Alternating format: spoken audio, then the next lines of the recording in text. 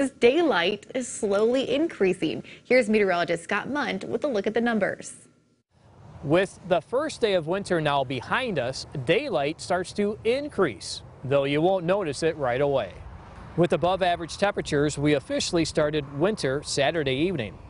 With the start of winter, we can now sit back and watch for earlier sunrises and later sunsets.